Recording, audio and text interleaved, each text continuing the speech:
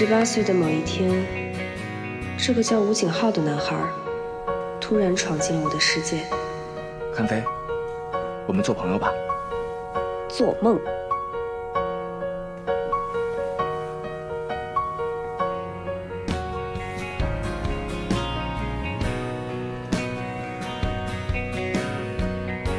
三步。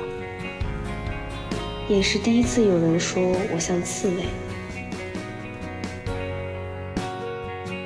如果说我像刺猬，那他像什么呢？是粘在身上就很难摘下来的苍耳，还是任劳任怨的饲养员？是一起笑、一起闹的朋友？如果有一天你迷路了，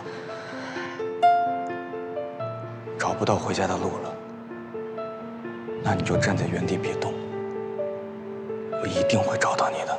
还是为你抖着身体爬上天台的高墙，然后告诉你，他也愿意是你黑夜里的一盏灯。韩飞，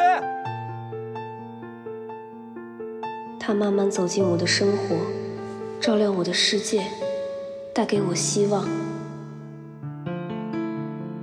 那时我还不知道，他是为了救我，回到了十八岁。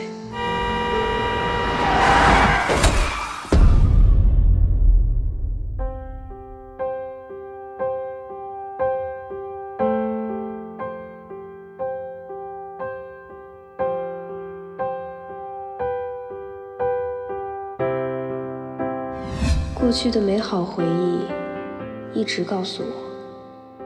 只要念念不忘，就能穿透时光。